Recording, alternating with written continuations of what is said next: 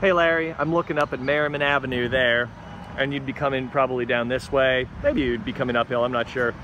Uh, this is like 330 Merriman Avenue. This is Spears Avenue. That's where you would turn down and you would turn in here by the chain link fence. And you'll see here in a second on the back of this parking lot. It's a big, long parking lot.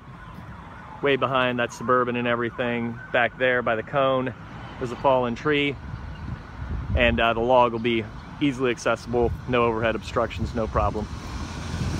Hope to see you again soon.